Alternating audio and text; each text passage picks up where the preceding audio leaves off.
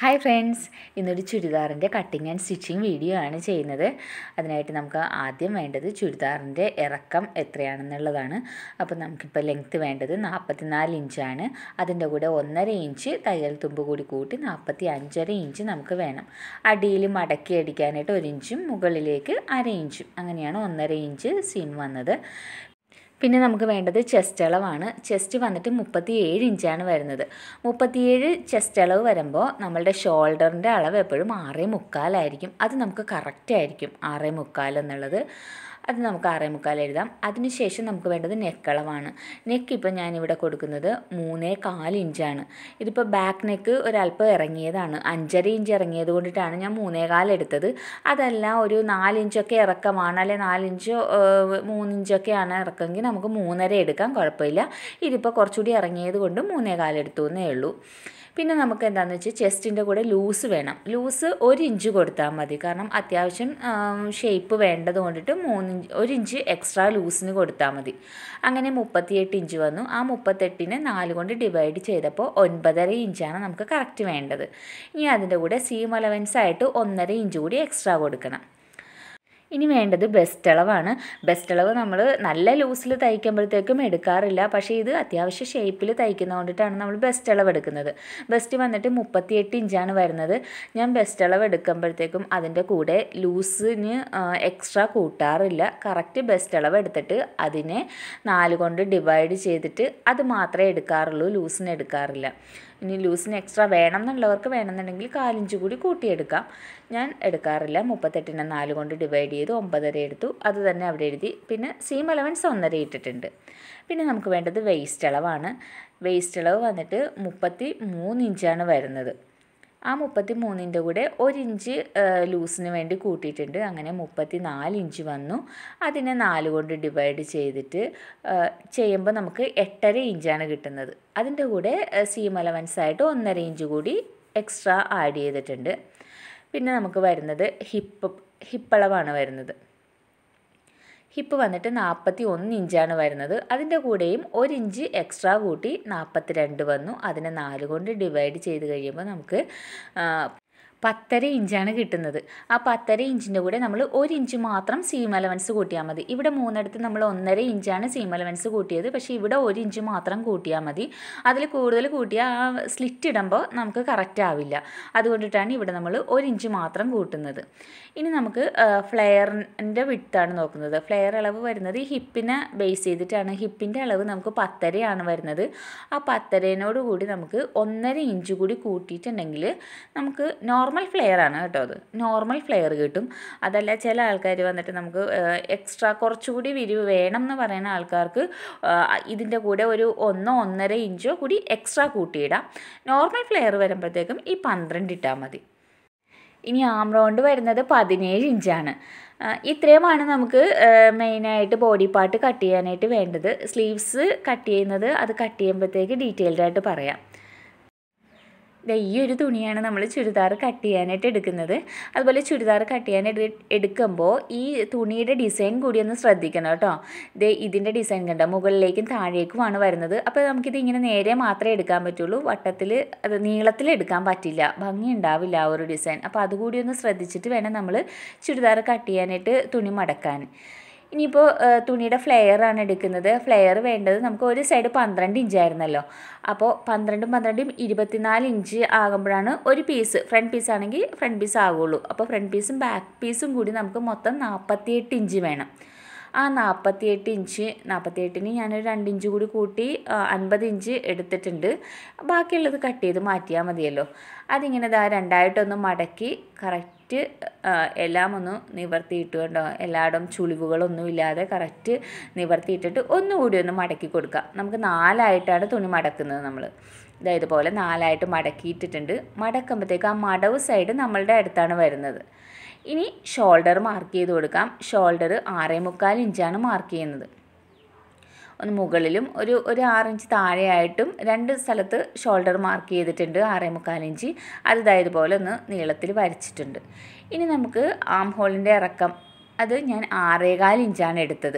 ഷോൾഡറിന്റെ അത്രയും തന്നെ എടുത്തിട്ടില്ല. എന്താണെന്ന് വെച്ചാൽ ഇത് അത്യാവശ്യം ഷേപ്പിൽ തയ്ക്കുന്നത് കൊണ്ടിട്ട് നമുക്ക് ആറേകാൽ ഇഞ്ച് എടുത്താൽ മതി. നല്ല ലൂസിലൊക്കെ തയ്ക്കുന്നതാണെങ്കിൽ ഷോൾഡർ എത്രയാണോ അത് തന്നെയാണ് നമ്മൾ ആം ഹോളിന്റെ ഇറക്കമായിട്ട് എടുക്കുന്നത്. ഇനി നമ്മൾ ആ ആറ് ആറേകാൽ ഇഞ്ച് എടുത്തത് ഇതുപോലെ ഒന്ന് വരച്ചിട്ടുണ്ട്. അവിടെയാണ് നമ്മൾ ചെസ്റ്റ് മാർക്ക് ചെയ്യുന്നത്. ചെസ്റ്റ് വന്നിട്ട് നമുക്ക് ഒൻപതര ഇഞ്ചാണ് വന്നത്. അതിന്റെ കൂടെ ഒന്നര ഇഞ്ച് സീം അലവൻസും കൂടി കൂട്ടി പത്ത് പതിനൊന്ന് ഇഞ്ചാണ് എടുത്തത്. ഇനി താഴേക്ക് ഒരു മൂന്ന് ഇഞ്ച് ഇറക്കി ഒന്നുകൂടി മാർക്ക് ചെയ്തു. അത് ബെസ്റ്റ് അളവിന് വേണ്ടിയിട്ടാണ്. ബെസ്റ്റ് അളവ് നമുക്ക് ഒൻപതര ഇഞ്ചായിരുന്നല്ലോ. ആ ഒൻപതര ഇഞ്ച് ഇവിടെ മാർക്ക് ചെയ്തു. ഒന്നര ഇഞ്ച് സീം അലവൻസും മാർക്ക് ചെയ്തു.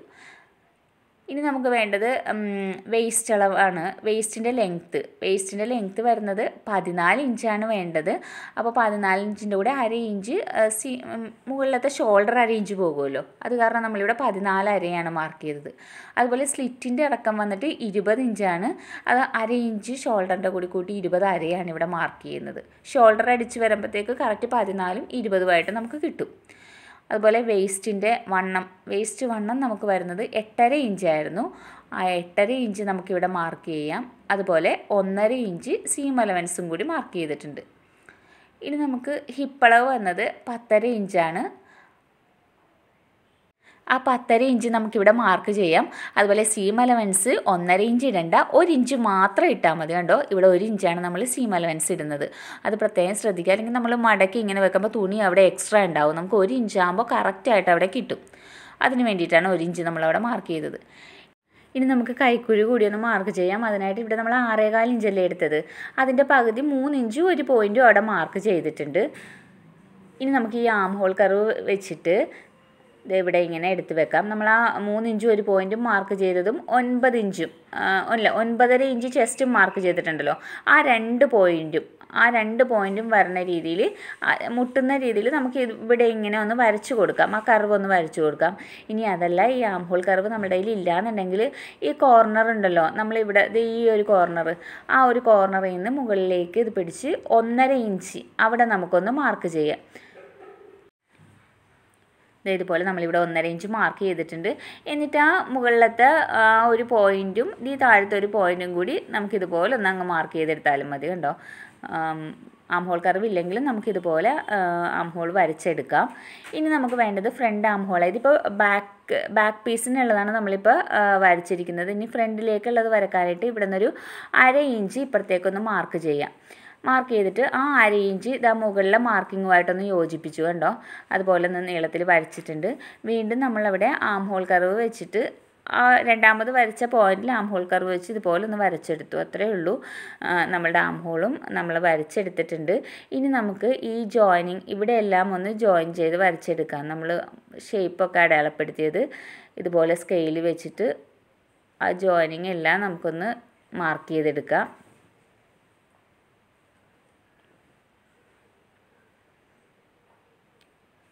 അവിടെ കൂർത്തിരിക്കരുത്. അതിനുവേണ്ടി നമ്മളൊന്ന് കർവ് ചെയ്ത് അവിടെ വരച്ചെടുത്തിട്ടുണ്ട്. ഈ ഒരു ഡിസൈൻ ആയതുകൊണ്ട് കളർ കറക്റ്റായിട്ട് കിട്ടുന്നില്ല അല്ലേ? ഇനി നമുക്ക് അടുത്തത് അടിയിൽ പന്ത്രണ്ട് ഇഞ്ചാണ് വരുന്നത്. ആ പന്ത്രണ്ട് ഇഞ്ച് നമുക്കിവിടെ ഒന്ന് മാർക്ക് ചെയ്യാം. ഫ്ലെയർ വരുന്നത്. എന്നിട്ട് നമുക്ക് ഇതുപോലെ മുകളിൽ നിന്ന് താഴേക്ക് അതങ്ങോട്ട് വരച്ചെടുക്കാം. നമ്മളിതെല്ലാം വരച്ച് കഴിഞ്ഞിട്ടുണ്ട്. ഇനി നമുക്കിതൊന്ന് കട്ട് ചെയ്തെടുക്കാം. നമ്മൾ വരച്ച് വെച്ചിരിക്കുന്ന ആ മാർക്കിങ്ങിൽ കൂടി തന്നെ അങ്ങോട്ട് വെട്ടിയെടുക്കാം. അതുപോലെ നമുക്ക് ബാക്ക് ആം ഹോൾ വരച്ചിട്ടുണ്ടല്ലോ അതിൽ കൂടിയാണ് നമ്മൾ വെട്ടിയെടുക്കുന്നത്. ഫ്രണ്ട് ആം ഹോൾ നമുക്ക് പിന്നീട് വെട്ടി മാറ്റാം. ഇനി അത് കഴിഞ്ഞിട്ട് നമുക്ക് ഇത് ഈ നെക്ക് ഒന്ന് മൂന്നേകാൽ ഇഞ്ച് ഒന്ന് മാർക്ക് ചെയ്തിട്ടുണ്ട്. അവിടെയൊക്കെ ഒരു കാലിഞ്ച് സ്ലോപ്പ് ഇട്ട് നമുക്കൊന്ന് വെട്ടിയെടുക്കാം കേട്ടോ ഇവിടെ ഒരു കാലിഞ്ച് സ്ലോപ്പ് ഇട്ട് കാലിഞ്ച് തികച്ചില്ല. ഒരു ചെറിയൊരു ഇത് നമ്മളവിടെ ഒന്ന് വെട്ടി മാറ്റിയിട്ടുണ്ട്. ഇനി നമുക്കിത് ഈ സെന്റർ ഇതുപോലെ എടുത്തിട്ട് ഇവിടെ ഒരു നോച്ചിട്ട് കൊടുക്കാം. അതുപോലെ തന്നെ നമുക്ക് ഇതിന്റെ വേസ്റ്റിന്റെ അവിടെയും ഒരു നോച്ചിട്ട് കൊടുക്കാം. ഹിപ്പിന്റെ അവിടെയും ഒരു നോച്ചിട്ട് കൊടുക്കാം കണ്ടോ? ഇതുപോലെ നോച്ചിട്ട് കൊടുത്താൽ നമുക്ക് കറക്റ്റ് ഇങ്ങനെ കൂട്ടി അടിക്കുമ്പോഴത്തേക്ക് നമുക്ക് എളുപ്പമായിരിക്കും. ഇനി ഇതങ്ങ് മാറ്റി വെക്കാം. നമുക്കിനി അടുത്തതായിട്ട് സ്ലീവ്സാണ് വെട്ടേണ്ടത്. അപ്പോൾ അത് എങ്ങനെയാണെന്നൊന്ന് നോക്കാം. ഇത്രയുമാണ് നമുക്ക് ബാലൻസ് ഉണ്ടായിരുന്ന തുണി. ഇതിൽ നിന്നാണ് നമ്മൾ സ്ലീവ്സ് എടുക്കുന്നത്. ഈ തുണി എന്താ ഡിസൈൻ കൂടി നോക്കിയിട്ടാണ് നമ്മൾ ഇങ്ങനെ എടുക്കുന്നത് കേട്ടോ. ഇതിങ്ങനെ രണ്ടായിട്ട് മടക്കിയിട്ടുണ്ട്. ഇതുപോലെ ഒന്ന് രണ്ടായിട്ട് മടക്കുക. ഇങ്ങനെ എടുത്താലേ നമുക്ക് ആ ഒരു ഡിസൈൻ ഇങ്ങനെ കിട്ടുള്ളൂ.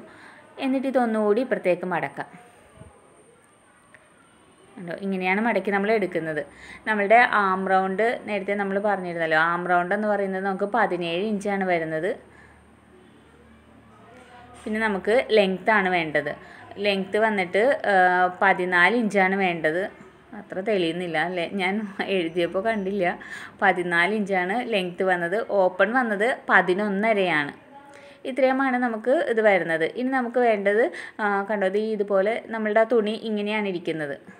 ഇവിടെ നമുക്ക് ലെങ്ത്ത് വരുന്നത് പതിനാല് പ്ലസ് ഒന്നര വരും. ഇവിടെ അടിയിൽ ഒരു ഇഞ്ച് മടക്കി അടിക്കാനും പിന്നെ നമുക്ക് മുകളിൽ ഒരു തയ്യൽ തുമ്പ് വരുമല്ലോ. ആ മുകളിലത്തെ തയ്യൽ തുമ്പും കൂടി കൂട്ടിയിട്ടാണ് നമുക്ക് ഒന്നര ഇഞ്ച് ഇവിടെ വന്നത്. അപ്പോൾ പതിനാല് പ്ലസ് ഒന്നര വന്ന്. ഇനി ഇപ്പുറത്തേക്കുള്ളത് കണ്ടോ? ഇങ്ങോട്ടുള്ള വീതി എത്രയാണ് വേണ്ടതെന്ന് നമുക്ക് ചെസ്റ്റ് വെച്ചിട്ടാണ് നമ്മൾ കണ്ടുപിടിക്കുന്നത്. ചെസ്റ്റ് അളവ് നമുക്ക് മുപ്പത്തിയേഴായിരുന്നു മുപ്പത്തിയേഴിനെ നാല് കൊണ്ട് ഡിവൈഡ് ചെയ്യുമ്പോൾ നമുക്ക് ഒൻപതേ കാൽ കിട്ടും. ആ ഒൻപതേ കാലിനോട് കൂടി അര ഇഞ്ച് കൂടി കൂട്ടുമ്പോൾ ഒൻപതേ മുക്കാൽ കിട്ടും. അതാണ് ആ അത്രയും തുണിയാണ് നമുക്ക് ഇവിടെ വേണ്ടത്. കണ്ടോ? ഈ ഒൻപതേ മുക്കാലാണ് നമ്മൾ ഇവിടെ മാർക്ക് ചെയ്യേണ്ടത്. ഇനി നമുക്കിത് താഴേക്ക് ഉള്ള ഒരു ലെങ്ത്താണ് അത് എത്രയാണെന്നാണ് കണ്ടുപിടിക്കേണ്ടത്? അത് മൂന്ന് തൊട്ട് നാല് വരെയൊക്കെ ആകാം. എന്നാലും നമുക്ക് കറക്റ്റായിട്ട് എടുക്കാൻ വേണ്ടിയിട്ട് നോർമലി എടുക്കുന്നത് ഒരു മൂന്നേകാൽ മൂന്നരയൊക്കെയാണ്. നമുക്കിവിടെ എത്രയാണെന്ന് നോക്കാനായിട്ട് നമ്മളുടെ ചെസ്റ്റിനെ പന്ത്രണ്ട് കൊണ്ട് ഡിവൈഡ് ചെയ്യുക. എന്നിട്ട് അതിന്റെ കൂടെ അര ഇഞ്ച് കൂടി കൂട്ടുക. അതാണ് നമ്മൾക്ക് ഇവിടെ വേണ്ട അളവെന്ന് പറയുന്നത്. ഇവിടെ മുപ്പത്തിയേഴിനെ പന്ത്രണ്ട് കൊണ്ട് ഡിവൈഡ് ചെയ്യുമ്പോൾ നമുക്ക് കിട്ടുന്ന മൂന്നാണ്. ആ മൂന്നിന്റെ കൂടെ അര ഇഞ്ച് കൂടി കൂട്ടുമ്പോൾ മൂന്നര ഇഞ്ചാണ് നമുക്കിവിടെ കിട്ടിയത്. അതാണ് നമ്മൾക്ക് ഇവിടെ മുകളിൽ നിന്ന് താഴേക്ക് നമ്മൾ മൂന്നര ഇഞ്ച് മാർക്ക് ചെയ്യാം.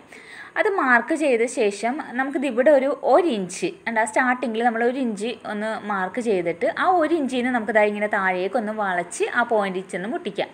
അതുപോലെ അടിഭാഗത്ത് പതിനൊന്നരയുടെ പകുതി എന്ന് പറയുമ്പോൾ അഞ്ചേ മുക്കാൽ പ്ലസ് ഒന്നര ഇഞ്ച് കൂടി മാർക്ക് ചെയ്തിട്ട് അത് അവിടെ ഒന്ന് മാർക്ക് ചെയ്യാം.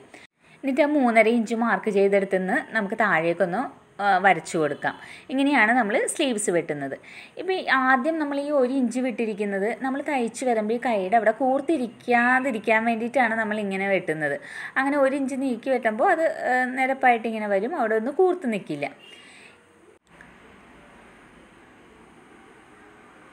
ഇതിപ്പോൾ നമ്മൾ ബാക്ക് സ്ലീവാണ് ദാ ഇതുപോലെ ഇങ്ങനെ വരച്ച് നമ്മൾ വെട്ടിയെടുക്കുന്നത്. ഇനി നമ്മൾ ഫ്രണ്ട് സ്ലീവ് വെട്ടുമ്പോഴത്തേക്കും ഈ ഒരു ഇഞ്ച് വിട്ടതിൽ നിന്ന് പിന്നെയും നമ്മളൊരു അല്പം കൂടി ഒരു ഇഞ്ച് കൂടി ഇങ്ങോട്ട് നീക്കി ഇതാ ഇതുപോലെ താഴേക്കൊന്ന് ഒരു അര ഇഞ്ച് വളച്ചാണ് നമ്മൾ ഫ്രണ്ട് സ്ലീവ് കട്ട് ചെയ്യുന്നത്.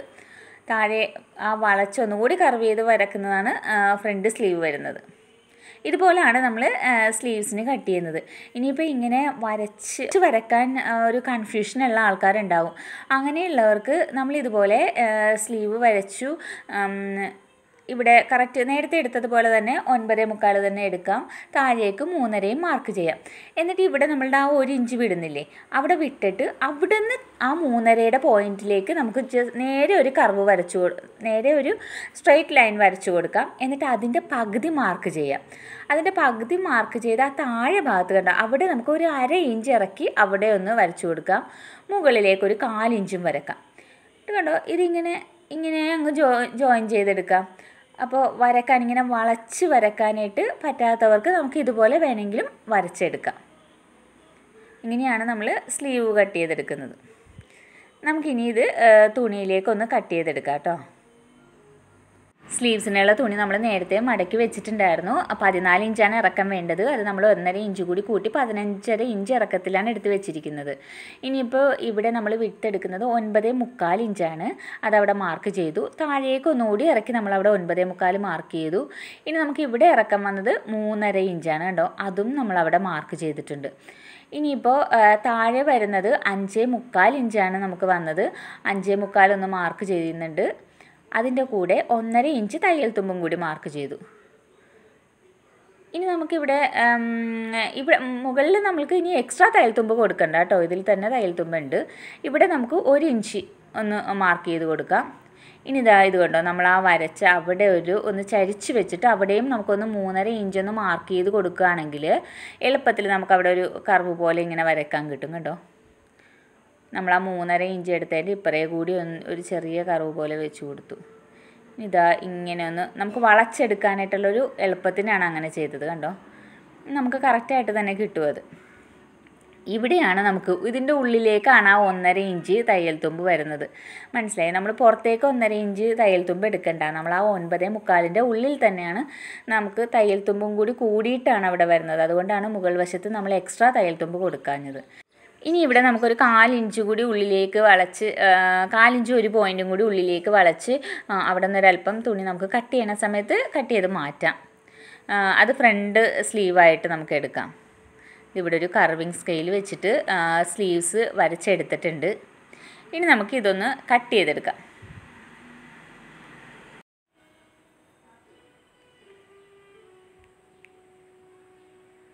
നമ്മളിത് ഇതുപോലെ അങ്ങ് കട്ട് ചെയ്തെടുത്തിട്ടുണ്ട്. ഇനിയിപ്പോൾ നമ്മൾ ഫ്രണ്ട് സ്ലീവ് കട്ട് ചെയ്തിട്ടില്ല. അതിനായിട്ട് നമ്മളിത് തുണി ഒന്ന് നിവർത്തിയിടാം. അതിന് മുന്നേ ഈ സെന്റർ ഒന്ന് ഒരു നോച്ചിട്ട് മാർക്ക് ചെയ്ത് കൊടുക്കാം. ഇനി നമുക്ക് ഈ രണ്ട് സ്ലീവിന്റെയും നല്ല വശങ്ങൾ തമ്മിൽ ചേർത്ത് വെക്കാം. ഇനി അഥവാ നല്ല വശങ്ങളല്ല ചീത്ത വശങ്ങളാണ് എടുക്കണമെങ്കിൽ അത് തമ്മിൽ ചേർത്ത് വെക്കാം. ഏതാണോ എടുക്കുന്നത് രണ്ടും ഒരേപോലെ ആയിരിക്കണം. നല്ല വശവും നല്ല വശമാണെങ്കിൽ അങ്ങനെ ചീത്തതാണെങ്കിൽ അങ്ങനെ. അത് രണ്ടും ആയിരിക്കണം. ഇതിപ്പോൾ ഞാൻ നല്ല വശവും നല്ല വശവും തമ്മിൽ ചേർത്ത് വെച്ചിട്ടുണ്ട്.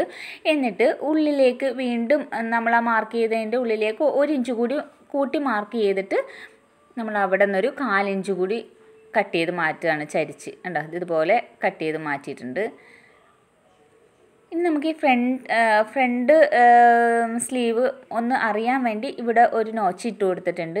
നമുക്കപ്പോൾ ഫ്രണ്ട് സ്ലീവും ബാക്ക് സ്ലീവും തമ്മിൽ മാറിപ്പോകാതിരിക്കാൻ വേണ്ടിയിട്ട്. ഇനി നെക്ക് ഞാൻ ക്യാൻവാസ് വെച്ചിട്ടാണ് ചെയ്യുന്നത്. അതിന് ക്യാൻവാസ് എടുത്തിട്ടുണ്ട്. ഇത് ഈ മിനുസവുള്ള വശം അതായത് ഗ്ലൈസിങ്ങുള്ള വശം ഉള്ളിലും ആ പരുപരത്തെ സ്ഥലം പുറമേയും വരുന്ന രീതിയിലാണ് ഇങ്ങനെ മടക്കി വെച്ചത്. മടക്കി വെച്ചിട്ട് ഇതാ മുകൾ വശത്ത് ഞാനൊന്ന് മാർക്ക് ചെയ്ത് കൊടുക്കുന്നുണ്ട്. കാരണം എന്റെ അവിടെ കട്ടിങ് രണ്ടും ഏറിയും കുറഞ്ഞ് നിൽക്കുന്നത് കൊണ്ടിട്ടാണ് അവിടെ വരച്ചു കൊടുത്തത്. രണ്ടും ഒരുപോലെയാണെങ്കിൽ നമ്മൾ അവിടെ കട്ട് ചെയ്യേണ്ട ആവശ്യമില്ല.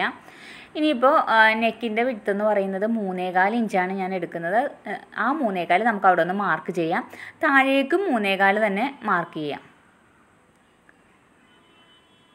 ഫ്രണ്ടും ബാക്കും എടുക്കേണ്ടതുകൊണ്ട് ഞാനൊരു ഒത്തിരി നീളത്തിൽ അങ്ങ് മൂന്നേകാൽ ഇഞ്ച് മാർക്ക് ചെയ്യുകയാണ് ആ വരച്ച വരകളെല്ലാം തമ്മിൽ ഇത് ജോയിൻ ചെയ്ത് വരച്ചിട്ടുണ്ട്. ഇനി നമുക്ക് ലെങ്ത്ത് വരുന്നത് ഏഴ് ഇഞ്ചാണ് ലെങ്ത്ത് പറഞ്ഞിരിക്കുന്നത്. അപ്പോൾ നമ്മുടെ ഷോൾഡറിന്റെ ഒരു കാലിഞ്ചും ഒരു പോയിന്റും പോകുമല്ലോ. ആ ഒരു കാലിഞ്ചും ഒരു പോയിന്റും കൂടി കൂട്ടി ഏഴേ കാലിഞ്ചും ഒരു പോയിന്റും വെച്ചിട്ട് ഒന്ന് മാർക്ക് ചെയ്യുന്നുണ്ട്. ഇവിടെ ഒന്ന് മാ ഏഴേകാൽ ഇഞ്ച് ഒന്നിവിടെ മാർക്ക് ചെയ്തു കണ്ടോ.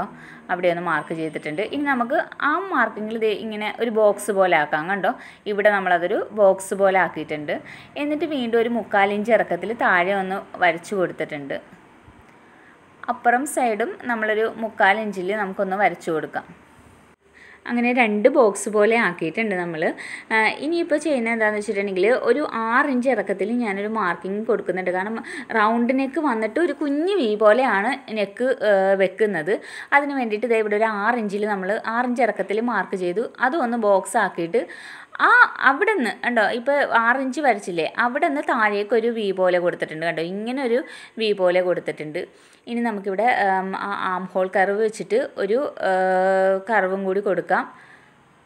ഇതിപ്പോൾ ഒരു നോർമൽ ഇതാണ് വരണത്. അപ്പോൾ ഒരു അല്പം കൂടി വൈഡായിട്ട് വേണമെന്ന് തോന്നിയത് കൊണ്ടിട്ട് ഇത്തിരി കൂടി ഉള്ളിലേക്ക് വെച്ചിട്ട് ഒന്ന് കുഴിച്ചൊന്നുകൂടി വരച്ചിട്ടുണ്ട് കേട്ടോ.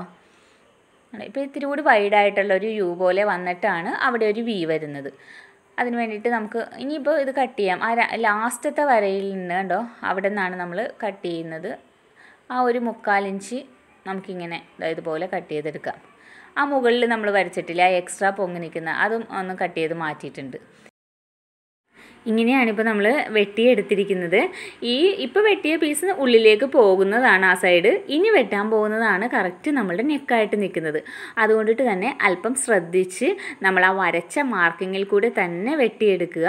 അതുപോലെ തന്നെ ഇത് വെട്ടിയെടുക്കുമ്പോൾ ഇങ്ങനെ ക്യാൻവാസ് തെന്നി മാറാതെ അങ്ങോട്ടും ഇങ്ങോട്ടും തെന്നലൊന്നും ഇല്ലാതെ നമ്മൾ കറക്റ്റായിട്ട് തന്നെ പിടിച്ചിട്ട് വെട്ടുക. ഇങ്ങനെ വെട്ടാൻ ബുദ്ധിമുട്ടുണ്ടെങ്കിൽ അവിടെ സ്റ്റാപ്ലർ ചെയ്തിട്ട് വെട്ടുക. ഇതിങ്ങനെ വെട്ടി കണ്ടോ അവസ ഫുൾ വെട്ടണ്ട. അവിടെ ഒരു കാലിഞ്ച് നിർത്തി ഇപ്പുറത്തേക്ക് വെട്ടിയെടുത്തു. കണ്ടോ? ഇതുപോലാണ് നമ്മൾ ഫ്രണ്ട് നെക്ക് വെട്ടിയെടുത്തിരിക്കുന്നത്. ഇനി നമുക്ക് ഇതിന്റെ കൂടെ തന്നെ ബാക്ക് നെക്ക് കൂടി കട്ട് ചെയ്തെടുക്കാം. അപ്പോൾ ഇവിടെ ആ ബാലൻസ് ഉള്ള പീസ് നമ്മൾ കട്ട് ചെയ്ത് മാറ്റുകയാണ്. നമ്മൾ നേരത്തെ വരച്ച ആ മൂന്നേകാൽ ഇഞ്ച് അവിടെ മാർക്കിംഗ് ഉണ്ട്. അപ്പോൾ അതിലേക്ക് നമ്മൾ ഇവിടെ ഇറക്കം മാർക്ക് ചെയ്യാം. അഞ്ചര ഇഞ്ചാണ് ഇറക്കം വേണ്ടത്. അപ്പോൾ ഒരു ആറ് ഇഞ്ച് എടുക്കാം. അര ഇഞ്ച് ഷോൾഡറിൽ പോകുന്നതുകൊണ്ട് ആറ് ഇഞ്ച് എടുത്തിട്ടുണ്ട്. മുക്കാൽ ഇഞ്ച് കൂടി താഴേക്ക് ഒന്ന് മാർക്ക് ചെയ്തിട്ടുണ്ട്. ഇനി നമുക്കിവിടെ ആ ആം ഹോൾ കർവ് വെച്ചിട്ട് തന്നെ ചെറിയൊരു കർവും കൊടുക്കാം കേട്ടോ ഇതുപോലെ ഒരു കർവ് കൊടുത്തിട്ടുണ്ട്. ഇനി നമുക്ക് ഈ ടേപ്പ് വെച്ചിട്ട് ആ കർവിന്റെ അപ്പുറയായിട്ടൊരു മുക്കാൽ ഇഞ്ച് വെച്ചിട്ട് അങ്ങ് മാർക്ക് ചെയ്തെടുക്കാം കണ്ടോ? ആ വളവ് വരുന്നവിടെ എന്നിട്ട് ആ കർവിങ്സ് നമ്മളുടെ ആംഹോൾ കർവ് വെച്ചിട്ട് ഇവിടെയും ഒന്ന് കറക്റ്റായിട്ട് വരച്ചു കൊടുക്കാം. ആ രണ്ടാമത് വരച്ച ആ യു ഷേപ്പിൽ നിന്ന് ഇങ്ങനെ കട്ട് ചെയ്തെടുക്കാം. കട്ട് ചെയ്തെടുത്തിട്ടുണ്ട്. ഇനിയാണ് നമുക്ക് കറക്റ്റായിട്ടുള്ള നെക്ക് വരുന്നത്. ഇവിടെ നമ്മൾ കറക്റ്റായിട്ട് തന്നെ പിടിച്ച് ആ നമ്മൾ വരച്ചെടുത്ത് കൂടി തന്നെ കട്ട് ചെയ്തെടുക്കുക. അതുപോലെ നേരത്തെ ചെയ്തതുപോലെ ഫുൾ കട്ട് ചെയ്യരുത്. ഒരു കാലിഞ്ച് വിട്ടിട്ട് ഇപ്പുറത്തേക്ക് ബാക്കി കട്ട് ചെയ്തെടുത്തു. അങ്ങനെ നമ്മളിപ്പോൾ ഫ്രണ്ടും ബാക്കും കട്ട് ചെയ്തെടുത്തിട്ടുണ്ട്. ഇനി നമ്മൾ ഈ വെട്ടിയെടുത്ത ക്യാൻവാസ് ഒരു തുണിയിലേക്ക് വെച്ചിട്ട് നമുക്ക് തേച്ചെടുക്കാം. ആ മിനുസമുള്ള വശമാണ് നമ്മൾ തുണിയിലേക്ക് ചേർത്ത് വെക്കുന്നത്. ആ മിനുസമുള്ള വശത്താണ് ആ പശ പോലുള്ള അത് ഉള്ളത്. അതുകൊണ്ടിട്ടാണ് ആ സൈഡ് നമ്മൾ തുണിയിലേക്ക് ചേർത്ത് വെക്കുന്നത്.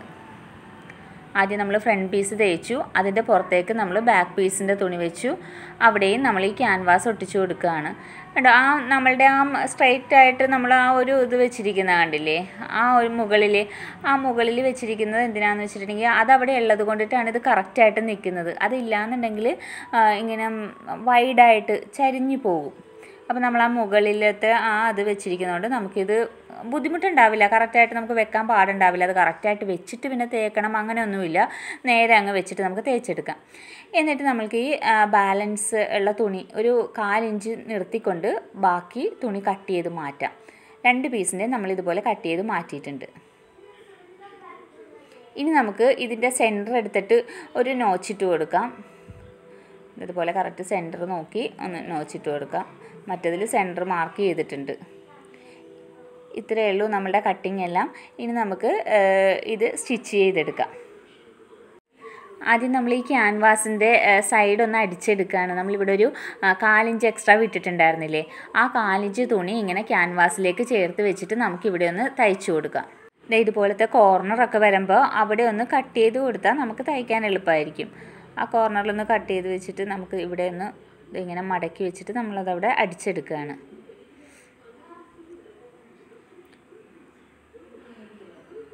ഇനി നമുക്ക് ഇതുപോലെ തന്നെ ബാക്ക് പീസും ഇങ്ങനെ സൈഡൊന്ന് ഉള്ളിലേക്ക് വെച്ചിട്ട് തയ്ച്ചെടുക്കാം.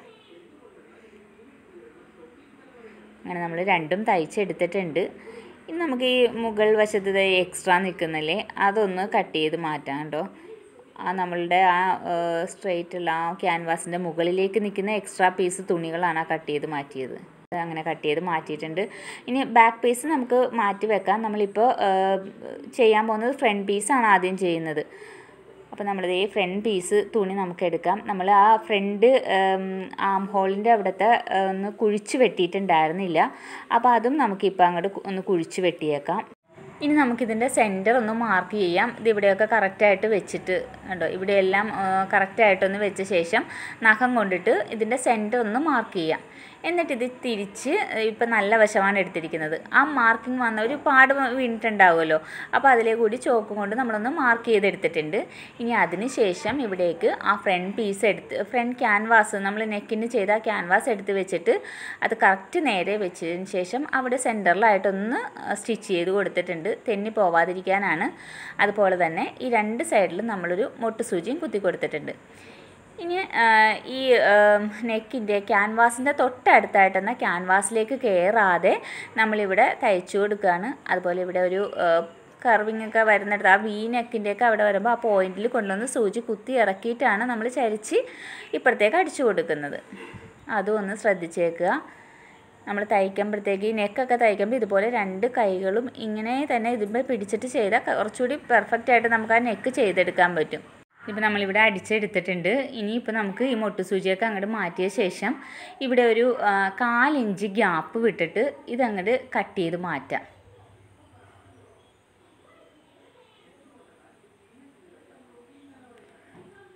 എന്നിട്ട് ഈ ഉള്ളിലും ആ വി പോലെ വന്നില്ലേ? അവിടെയും ഒരു കുറച്ച് തുണി ഇട്ടിട്ടാണ് നമ്മളവിടെ കട്ട് ചെയ്ത് മാറ്റിയത്. അതിന് ശേഷം ഇവിടെ ഇതുപോലെ കുറച്ച് കട്ട് ചെയ്ത് കൊടുക്കുന്നുണ്ട്. രണ്ട് സൈഡും ഉണ്ടോ? ആ കോർണറും നമ്മളൊരല്പം കട്ട് ചെയ്തു. ഇവിടെ എല്ലാം ഉള്ളിലും നമ്മൾ കുറച്ച് ഇങ്ങനെ കട്ട് ചെയ്തിട്ടുണ്ട്? ഇതുപോലെ ഒരു നോച്ചസ് ഇട്ട് കൊടുത്തിട്ടുണ്ട്.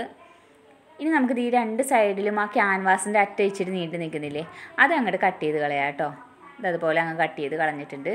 ഇനി നമുക്ക് ഇത് ഇതുപോലെ നേരെ വെച്ചിട്ട് ഇത് ഉള്ളിലേക്ക് മടക്കാം. കണ്ടോ? ഇതിങ്ങനെ ഉള്ളിലേക്ക് മടക്കിയിട്ട് നമ്മൾ നല്ല വശത്ത് വെച്ചിട്ടാണ് നല്ല വശം തുണിയിൽ വെച്ചിട്ടാണ് ഇത് തയ്ച്ചത്. അപ്പോൾ നമ്മൾ ചീത്ത വശത്തേക്ക് അത് മറിച്ച് വെക്കുകയാണ്. അതുപോലെ നമ്മളിതായി ഇവിടെ ഈ ആ, വി പോലെ വെച്ചില്ലായിരുന്നോ. അവിടെ ഒരു കത്രികയുടെ അറ്റം കൊണ്ടിട്ട് കണ്ടോ ഇങ്ങനെ കുത്തി പുറത്തേക്ക് എടുക്കുകയാണ്. അപ്പോഴാണ് ആ കറക്റ്റ് പോയിന്റായിട്ട് അങ്ങനെ അവിടെ വന്ന് നിൽക്കുന്നത്. ഇനി നമുക്ക് ഇവിടെ ഇതുപോലെ ഒന്ന് ഉള്ളിലേക്ക് മടക്കി വെച്ചിട്ട് ഇവിടെ അങ്ങോട്ട് അടിച്ചു കൊടുക്കാം. അറ്റത്തേക്ക് ചേർത്തിട്ടാണ് കേട്ടോ നന്നായിട്ട് അറ്റത്തേക്ക് ചേർത്തിട്ട് അവിടെ അങ്ങ് അടിക്കുകയാണേ. അതുപോലെ ഈ വി പോലെ പറഞ്ഞെടുത്തൊക്കെ അവിടെ സൂചി കുത്തി ഇറക്കിയ ശേഷം നമ്മളിതിങ്ങനെ ചരിച്ച് വെച്ച് താഴേക്ക് അടിക്കുന്നു. സൂചി ഇറക്കിയ ശേഷം തന്നെ തിരിച്ച് വെച്ച് ഇപ്പുറത്തേക്ക് അടിച്ചെടുക്കാം. കണ്ടോ?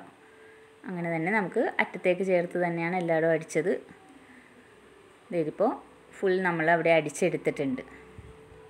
ഇനി നമുക്ക് ഇതുപോലെ തന്നെ ഇവിടെ ഒരു അര ഇഞ്ച് മാറ്റി കണ്ടോ? നമ്മൾ കറക്റ്റായിട്ട് അവിടെ അടിച്ചെടുത്തിട്ടുണ്ട്. ഇനി ഇവിടെ ഒരു അര ഇഞ്ച് മാറ്റി ഒന്നുകൂടി നമുക്കിവിടെ അടിച്ചെടുക്കാം. ആ പുറകിൽ ഇരിക്കുന്ന ക്യാൻവാസ് ഇങ്ങനെ പതിഞ്ഞിരിക്കാൻ വേണ്ടിയിട്ട് ഇവിടെ നമ്മൾ അടിച്ചെടുത്തു കേട്ടോ. ഇങ്ങനെയാണ് നമ്മൾ രണ്ട് തയ്യലും അവിടെ തയ്ച്ചെടുത്തിരിക്കുന്നത്. കണ്ടോ ദേ ഇതിന്റെ പുറകെ കണ്ടോ? ഇതിപ്പോൾ ഇവിടെ ജോയിൻ ആയിട്ടിരുന്നു. ഇതില്ലാന്നുണ്ടെങ്കിൽ അവിടെ അടിച്ചില്ല എന്നുണ്ടെങ്കിൽ ഇതിങ്ങനെ പുറത്തേക്ക് ചാടി വരും. അതുകൊണ്ട് നമ്മൾ ആ അരയിഞ്ച് ഇപ്പുറം മാറ്റി അടിച്ചത്. ഇനി ഇതങ്ങ് മാറ്റി വെക്കാം. അതിന് ശേഷം നമുക്ക് ബാക്ക് നെക്ക് അടിച്ചെടുക്കാം. ബാക്ക് നെക്കും നേരത്തെ ചെയ്തതുപോലെ തന്നെ കറക്റ്റ് സെന്റർ ഒന്ന് നമ്മൾ നഖം കൊണ്ട് വരഞ്ഞിട്ട് അവിടെ ഒന്ന് മാർക്ക് ചെയ്ത് വെക്കാം. അതും നല്ല വശത്ത് തന്നെയാണ് കേട്ടോ മാർക്ക് ചെയ്യുന്നത്. കാരണം ഈ തുണിയുടെ നല്ല വശത്തേക്കാണ് നമ്മൾ ക്യാൻവാസിന്റെ നല്ല വശം ചേർത്ത് വെച്ചിട്ട് തയ്ച്ചെടുക്കുന്നത്. ക്യാൻവാസിന്റെ രണ്ട് സൈഡിലും നമ്മൾ മൊട്ടുസൂചി കുത്തി വെച്ചിട്ടുണ്ട്. അതുപോലെ തന്നെ ആ സെന്ററും കറക്റ്റായിട്ടൊന്ന് നമ്മൾ സെന്ററിൽ അടിയിൽ മാർക്ക് ചെയ്തിട്ടുണ്ടല്ലോ. അപ്പോൾ ആ സെന്ററിലും കറക്റ്റായി നോക്കി ഇവിടെയും ഒരു മൊട്ടുസൂചി കുത്തി വെക്കാം. അതിനുശേഷം ഇതൊന്ന് തെന്നി മാറാതിരിക്കാൻ വേണ്ടിയിട്ട് ഇവിടെ ഒന്ന് അടിച്ചു കൊടുക്കാം. സെന്ററിലായിട്ട് ഇനി നമ്മൾ ഇതിന്റെ സൈഡിലേക്ക് അടിച്ചു കൊടുക്കുകയാണ്. നേരത്തെ ചെയ്തതുപോലെ തന്നെ ക്യാൻവാസിലേക്ക് കയറാതെ അതിന്റെ തൊട്ടടുത്തായിട്ടാണ് നമ്മളിങ്ങനെ തയ്ച്ചു കൊടുക്കുന്നത്. ഇതുപോലെ നമ്മളിവിടെ തയ്ച്ചെടുത്തിട്ടുണ്ട്.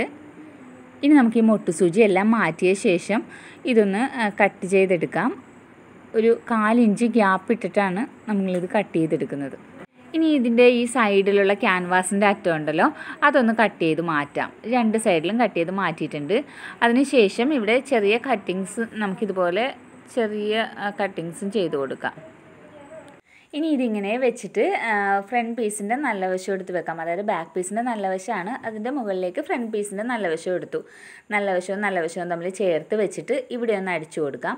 അവിടെ അടിക്കുമ്പോൾ ആ ബാക്ക് പീസിലിരുന്ന ക്യാൻവാസ് എടുത്ത് നിവർത്തി വെച്ചിട്ട് ഷോൾഡർ ഇവിടെ ജോയിൻ ചെയ്യുകയാണ് ഒരു അര ഇഞ്ച് ഗ്യാപ്പ് ഇട്ടിട്ട് നമുക്ക് ഇവിടെ ഒന്ന് അടിച്ചു കൊടുക്കാം.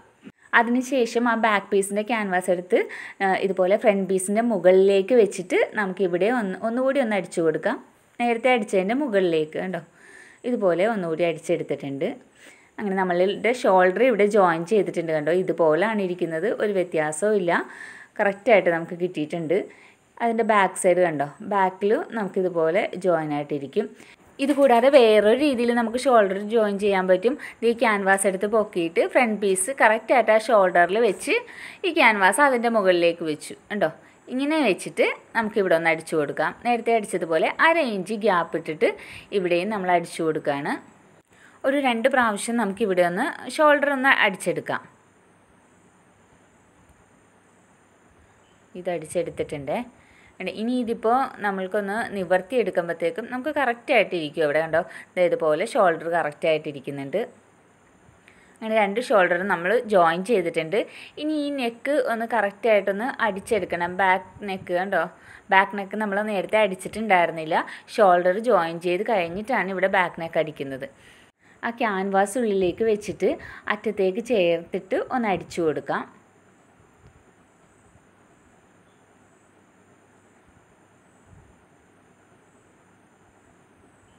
ഇപ്പോൾ നമ്മൾ ഒരു പ്രാവശ്യം തയ്ച്ച് കഴിഞ്ഞിട്ടുണ്ട്. ഇനി ഒരു അര ഇഞ്ച് നീക്കി നമുക്ക് ഇപ്പുറത്ത് നേരത്തെ ചെയ്തില്ലേ നമ്മൾ ഫ്രണ്ടിൽ അതുപോലെ ഒരു അര ഇഞ്ച് നീക്കി ഇപ്പുറത്ത് ഒന്നുകൂടി അടിച്ചു കൊടുക്കണം. അതായത് നമ്മളുടെ ആ ഉള്ളിലിരിക്കുന്ന ക്യാൻവാസ് നന്നായിട്ട് പതിഞ്ഞിരിക്കാൻ വേണ്ടിയിട്ടാണ്. നമ്മളിപ്പോൾ നെക്ക് രണ്ടും തയ്ച്ചെടുത്തിട്ടുണ്ട്.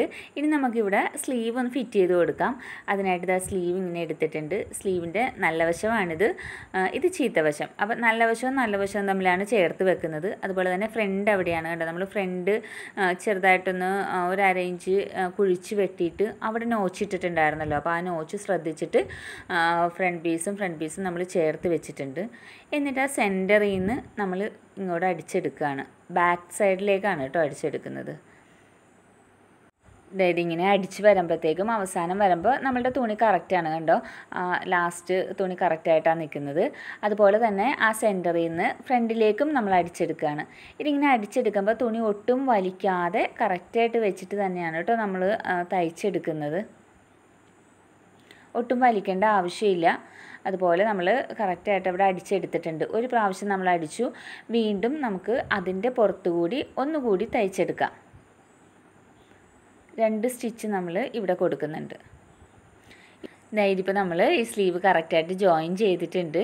നമ്മുടെ തുണിയൊക്കെ കറക്റ്റായിരുന്നു കണ്ടോ? അവിടെയൊന്നും നമുക്ക് എക്സ്ട്രാ വന്നിട്ടില്ല. അതുപോലെ തന്നെ നമുക്ക് അടുത്ത സ്ലീവും ജോയിൻ ചെയ്തെടുക്കാം. ഇത് സ്ലീവ് നമ്മൾ ജോയിൻ ചെയ്യാൻ എടുക്കുമ്പോഴത്തേക്ക് ഇത് കണ്ടോ? ഈ ഇതൊന്ന് പ്രത്യേകം ശ്രദ്ധിക്കുക. ഫ്രണ്ടും ബാക്കും മാറിപ്പോകരുത് ഇതാണ് നല്ല വശം വരുന്നത്. നല്ല വശവും നല്ല വശവും തമ്മിൽ ചേർത്ത് വെച്ചിട്ടുണ്ട്. ഇത് ഇവിടെ കണ്ടോ? ഫ്രണ്ടിൽ നോച്ചിട്ട് വെച്ചില്ലേ നമ്മൾ ഫ്രണ്ട് പീസിന്റെ അതുപോലെ തന്നെ അത് നമ്മുടെ ബോഡി പാർട്ടിന്റെ ഫ്രണ്ട് പീസാണോ എന്ന് നോക്കുക. അതുപോലെ തന്നെ ദേ ഇവിടെ തയ്യൽ തുമ്പ് കണ്ടോ? ഈ തയ്യൽ തുമ്പ് എപ്പോഴും ബാക്ക് പീസിലേക്ക് നോക്കുന്ന രീതിയിലായിരിക്കണം അവിടെ വരേണ്ടത്. ബാക്ക് പീസിലേക്കായിരിക്കണം അത് ഓപ്പൺ ആയിട്ട് നിൽക്കേണ്ടത്. അങ്ങോട്ട് വെച്ചിട്ട് വേണം ഇത് നമ്മളിവിടെ ഒന്ന് അടിച്ചു കൊടുക്കാൻ. ഇവിടെ തയ്ക്കുമ്പോഴത്തേക്കും ഒരു അര ഇഞ്ചാണ് നമ്മളിവിടെ തയ്യൽ തുമ്പിട്ടിരിക്കുന്നത് ആ അര ഇഞ്ച് തയ്യൽ തുമ്പിൽ തന്നെ നമുക്ക് ഇങ്ങോട്ട് തയ്ച്ചു പോരാം.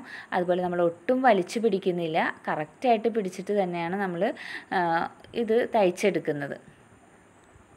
അതുപോലെ നമ്മൾ സെന്ററിൽ നിന്നാണ് ഇങ്ങോട്ട് തയ്ച്ചെടുക്കുന്നത്. രണ്ട് സൈഡും ഇതുപോലെ വെച്ച് നമുക്ക് തയ്ച്ചെടുക്കാം.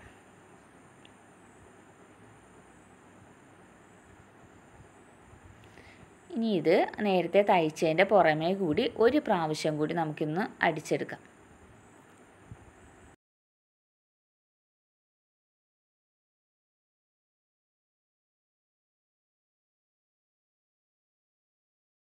ഇതിപ്പോൾ നമ്മൾ രണ്ട് സ്ലീവും ജോയിൻ ചെയ്തെടുത്തിട്ടുണ്ട്. ഇനി നമുക്ക് ചെയ്യാനുള്ളത് ഈ സ്ലീവ്സിന്റെ അടിഭാഗത്തൊന്ന് മടക്കി അടിക്കുകയാണ് കേട്ടോ. സ്ലീവിന്റെ അടിഭാഗം നമ്മൾ ഒന്ന് മടക്കി ഒരു അര ഇഞ്ച് ഒന്ന് മടക്കി വീണ്ടും ഒന്നുകൂടി മടക്കി. അങ്ങനെ രണ്ട് പ്രാവശ്യം മടക്കിയിട്ടാണ് നമ്മളിവിടെ അടിക്കുന്നത്. നമ്മൾ ഒരു ഇഞ്ച് ഇവിടെ അടിഭാഗം മടക്കി അടിക്കാൻ വേണ്ടി തയ്യൽ തുമ്പ് വിട്ടിട്ടുണ്ടായിരുന്നു. അപ്പോൾ രണ്ട് പ്രാവശ്യം നമ്മൾ അര ഇഞ്ച് അര ഇഞ്ച് മടക്കുമ്പോൾ ഒരു ഇഞ്ചാവും നമുക്ക് അതിവിടെ ഒന്ന് തയ്ച്ചു കൊടുക്കുന്നുണ്ട്. ഒറ്റ പ്രാവശ്യം തയ്ച്ചാൽ മതി. രണ്ട് സ്റ്റിച്ച് വേണമെന്നില്ല. അതുപോലെ ഇപ്പുറത്തെ സ്ലീവിലും നമുക്ക് അതുപോലെ തന്നെ ഒരു ഇഞ്ച് ഒരു പ്രാവശ്യം ഒന്ന് മടക്കി വീണ്ടും ഒന്നുകൂടി മടക്കി. രണ്ട് പ്രാവശ്യം മടക്കി ഇവിടെ നിന്ന് തയ്ച്ചു കൊടുക്കാം.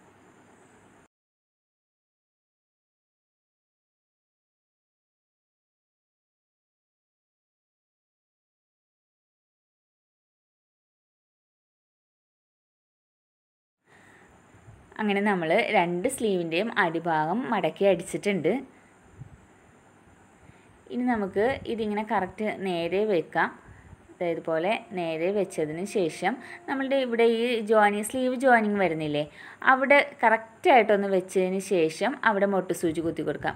ആ തുണികൾ തമ്മിൽ ഒരേപോലെ ആയിരിക്കണം ഇരിക്കേണ്ടത്. ഡയറിങ് കുറഞ്ഞു ആയിരിക്കരുത്. അതുപോലെ നമ്മളുടെ ആ സ്റ്റിച്ചിങ്. ആ ജോയിനിങ് വന്നിരിക്കുന്ന ആ പോർഷനും ഒരുപോലെ തന്നെ ആയിരിക്കണം ചില ആൾക്കാർ തയ്ച്ചിടാം. വരുമ്പോൾ നമ്മൾ കണ്ടിട്ടില്ലേ അടിഭാഗത്ത് ഒരെണ്ണം കയറിയും ഒരെണ്ണം ഇറങ്ങിയായിട്ടിരിക്കും സ്ലീവ്. അതുപോലെ വരാതിരിക്കാൻ വേണ്ടിയിട്ടാണ് നമ്മളിവിടെ മൊട്ട് സൂചി കുത്തുന്നത്.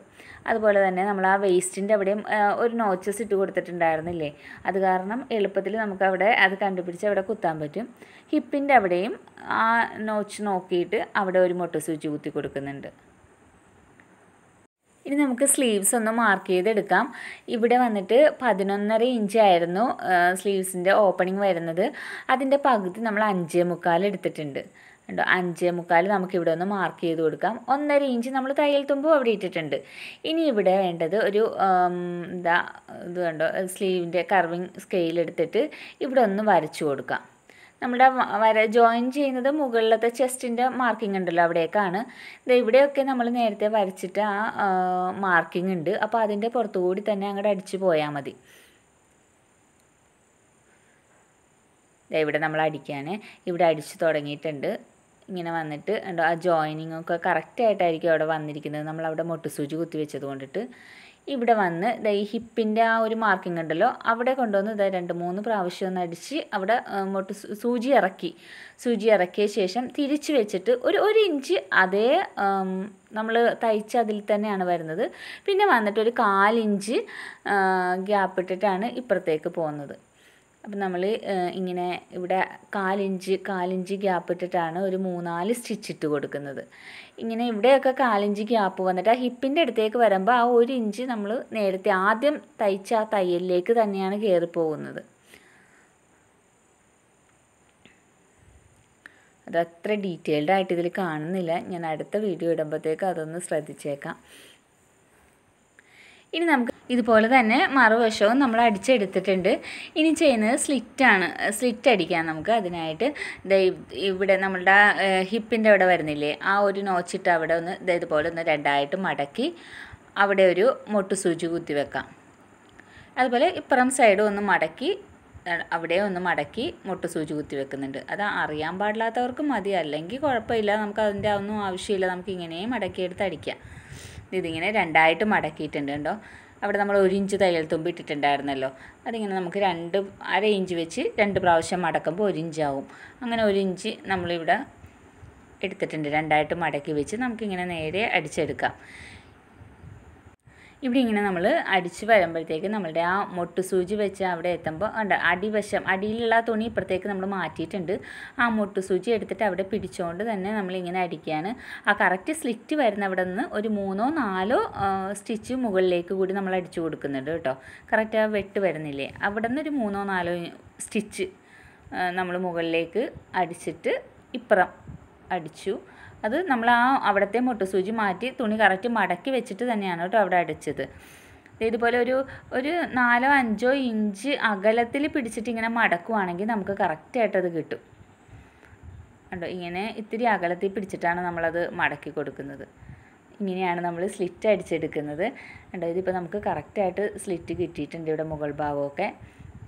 ഇനി നമുക്ക് ചെയ്യാനുള്ളത് ഇതിന്റെ ഉൾവശം എടുത്തിട്ട് ഉൾവശം എടുക്കുമ്പോൾ അതായത് പോലെ ഒന്ന് മടങ്ങിയല്ലേ ഇരിക്കുന്നത് ദേ ഇങ്ങനെ വെക്കുമ്പോൾ ഇവിടെ വന്നിട്ടൊന്ന് ഒന്ന് മടങ്ങിയായിരിക്കുന്നത് അവിടെ നമുക്കൊരു നോച്ചിട്ട് കൊടുക്കാം. ഇതിങ്ങനെ ചെയ്യുമ്പോഴത്തേക്ക് നമ്മളുടെ നമ്മൾ ഇട്ട് കഴിയുമ്പോഴത്തേക്ക് ഇവിടെ ഒരു ചെറിയൊരു കുടുങ്ങി കിടക്കുന്ന പോലെ ഉണ്ടാവും. അതും നമുക്ക് മാറി കിട്ടും.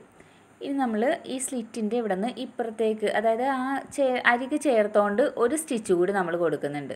അങ്ങനെ കൊടുത്തിട്ട് ഇതേ മുകൾ ഭാഗത്ത് വന്നിട്ട് അവിടെ ഒന്ന് സൂചി കുത്തി നിർത്തിയിട്ട് വീണ്ടും താഴേക്ക് നമ്മൾ അടിച്ചെടുക്കുക അറ്റത്തേക്ക് ചേർത്ത് എല്ലാ ചുരിദാറിലും നമ്മളിങ്ങനെ രണ്ട് സ്റ്റിച്ച് കൊടുക്കാറില്ല. ഷിഫോൺ ജോർജറ്റ് അതുപോലത്തെ മെറ്റീരിയലിലുള്ള തുണികളൊക്കെ നമ്മൾ ഒറ്റ സ്റ്റിച്ച് മാത്രമേ കൊടുക്കുകയുള്ളൂ. കോട്ടന്റെ ചെയ്യുമ്പോൾ രണ്ട് സ്റ്റിച്ച് ഇട്ട് കൊടുക്കാറുണ്ട്. ഇനി നമുക്ക് ചെയ്യാനുള്ളത് ഇതിന്റെ അടിഭാഗത്ത് ഒന്ന് മടക്കി അടിക്കാനുള്ളതാണ്.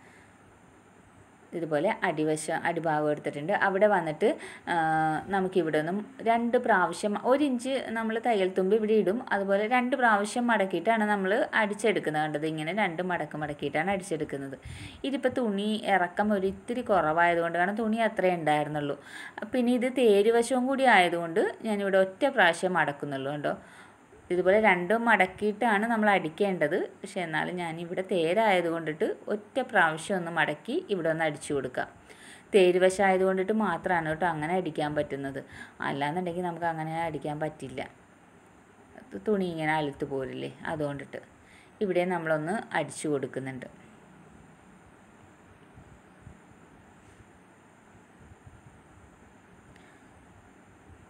ഇവിടെ ഈ അറ്റത്ത് നമ്മൾ രണ്ട് സ്റ്റിച്ച് കൊടുക്കുന്നുണ്ട് കേട്ടോ. അടിയിലും രണ്ട് സ്റ്റിച്ച്.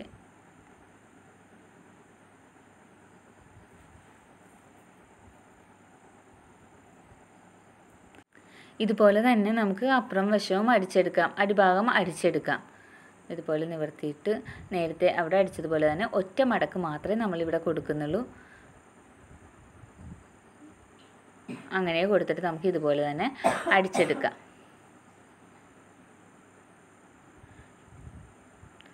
ഇതിപ്പോൾ നമ്മൾ ചുരിദാർ ഫുൾ തയ്ച്ച് കഴിഞ്ഞിട്ടുണ്ട് കേട്ടോ. ആ എക്സ്ട്രാ ഉള്ള നൂലൊക്കെ ഒന്ന് കട്ട് ചെയ്ത് മാറ്റുകയാണ്.